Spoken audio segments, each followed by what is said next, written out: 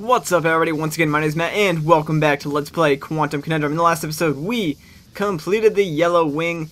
In this episode we're going to start the red wing, so let's go. Fortunately, or maybe unfortunately, you're heading closer to the new technologies lab. Perhaps Cool. you might come across some clues to help me piece together this quandary.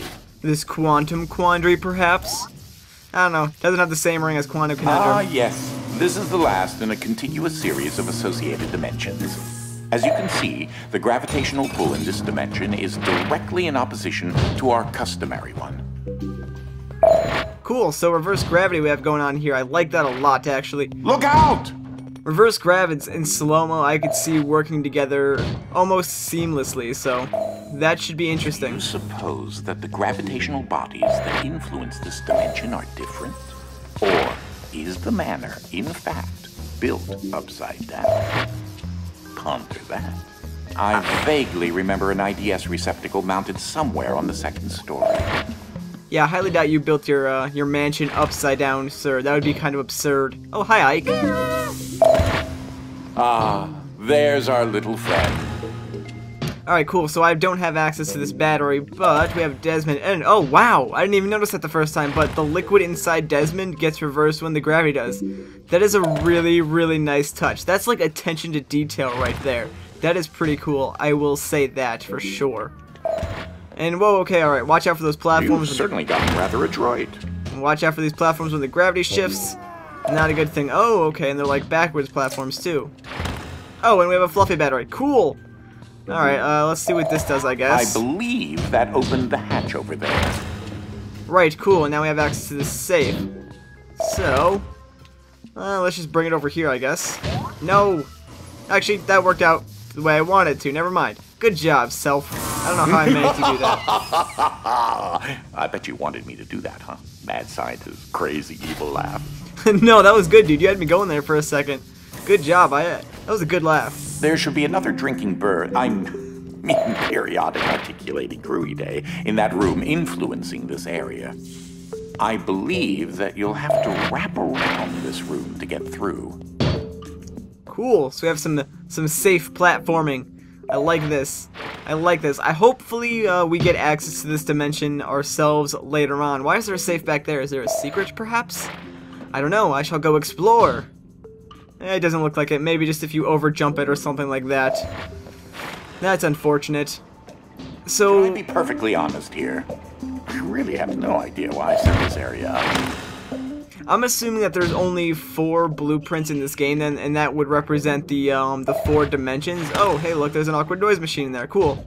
So I'm assuming that I've missed two of them, found the third one, and then there's the fourth one that I'm going to see sooner or later. So I'm guessing this is how I get that awkward noise machine. Hang on. Wait for the dimensions to flip, and let's get over there quickly. I totally screwed that up. Good job. I totally planned it like that. Not. All right. Let's uh let's try this again. Let's fail this time. I don't want to rush it too much. It sounds like a hawk. I, really? Come on now. Stop missing easy jumps. Let's go. Yeah, it sounds exactly like a.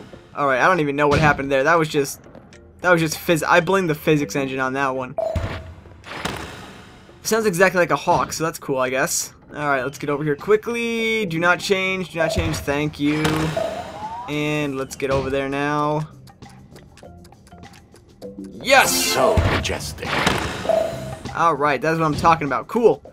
So, like, like I was saying, there, there is something that I don't like about this game, and it's the fact that it takes it a long time to introduce a new element. Like, I'm gonna guess that we are probably in the last area of the sort of house, and this is the last sort of dimension that they're gonna introduce us to. So, you'd think by now... At this point, you have traveled further into the manor than any other family member has in the last two decades. Cool. So like I was saying, you think by now that they would sort of um just sort of give it to us and have us go at it ourselves because we get the general basis of the game already. I can't say that'll happen again anytime soon. Can I get a plaque or something for that? Like traveled the most around the house in two decades? That'd be a cool plaque to have. I think you should give me that. Lament of the flightless bird. Alright, let's see what we have. Safe. Oh, it seems as if the timer on Desmond doesn't have the duration that you'll need. Right, okay, but I can actually have access to this and just stick it in here, and now I can make it stay up there as long as I want. Cool! Alright, that was easy enough. And let's see what you're going to give me. A box, which is now on the ceiling. That's a good place for it. No, yeah, that's totally, that's totally a good place for it. Um, oh, okay, right, so I, need to get this heavy battery. Only there was something to press that for you. Dang it. Alright, you know what? I'm not getting the bird. I could totally make this without getting the bird. As a rule, don't look directly into his eyes. Trust See? me. I told you I didn't need the stupid bird. Um, okay, so do I swap out the batteries? Um, no, I can't swap out the batteries because that safe needs to be there. But I can stick this in here, and now I'm stuck. There we go. And now I should have access to this, uh, to this box and heavy dimension, so hopefully... There we go. Alright, cool. That worked out as I planned. Some event must have occurred to cause me to be transported to this pocket dimension. If only I could remember what. I don't know, dude. Not sure at all. When I came here, just all sorts of crap was going on. My headache is getting a little better, although I still have a rather large lump on my skull. And I did lose my luggage, but then Ike found it, so maybe my luggage went to the same limbo dimension as you, and then Ike brought it back. Hmm, I don't know. Maybe. Alright, let's see what we have going on in here. Did that... Is it going? There it goes. Oh, I don't know. That door took an oddly long amount of time to open up. Oh, in case you don't see it, there's an electrical converter on the ceiling that needs to be pressed. You know, I question why you would even, like, put that there. Ooh, I hear another awkward noise machine, actually, too. Um, yep. There it is, behind me. See, I love my headphones because I can sort of, like, hear everything that's going on around me. That's what's good about having, like, some quality I headphones. can't believe my memory hasn't returned yet. Alright, so what I'm going to do is go grab this awkward noise machine first. This puzzle doesn't seem too hard, actually. All I should really have to do is, um, put this up here and then ride that to the top. So let's just go get the machine first. And I'm to need to move this. It sounds like a cow. I don't know why it's a cow, but let's grab it. It was a cow. Cool. Alright, um... Let's just go set up for the rest of the puzzle, I guess, then, and just solve it, because there's really... There's not much going on here, to be honest. This was this was kind of a simple puzzle. Which is interesting, because it's the first puzzle that they sort of let us use um, slow-mo on completely by ourselves. So that's kind of, I don't know, simple, I guess. I kind of wish, like, again, that's another complaint I have with this game, is I kind of just wish that, um, they wouldn't give you, like, these introductory puzzles. They would just give you, um, harder ones right off the bat, because we're so far into the game already, and this is a loading room if I ever saw one. Anyone who's played Metroid Prime, you recognize this type of room right here. This two-door room, the loading room. The greatest puzzle in the world, Tribute. Alright, so let's see what you do. And you just fling a safe across the room. Nice. Okay, cool. Um, I need at least two safes or two of something. There is a reverse grav battery in here, so let's grab that. Seems like a good idea. Okay, I really need to, like, sort of I used to somewhat like you. What do you mean, somewhat? You hated me this entire time. You don't even want me here. Hey, what? Wait. Where did the battery go? How did... What? That was really absurd. I don't even know what just happened. It was sort of just like hovering there. I'm gonna say that was a glitch. that was really, really strange. Alright, um... So there's a second safe that I need. Oh, and there's an energy converter up there, so I guess... Let's head on up and see what's over there. Crap, I'm an idiot. How I am stupid. Let's do this. Let's put this here closer so I can actually grab it without falling off. There we go. That wasn't so hard now, was it? Sometimes I get the strangest feelings that they might be sentient. I don't even know what you're talking about, sir. If you maybe want to elaborate or fill me in at some point, that'd be nice. That'd be nice. Um, now here's a question. Do I really want to go all the way back up there to grab another safe, or should I just use this chair here? I think I'm to use this chair here.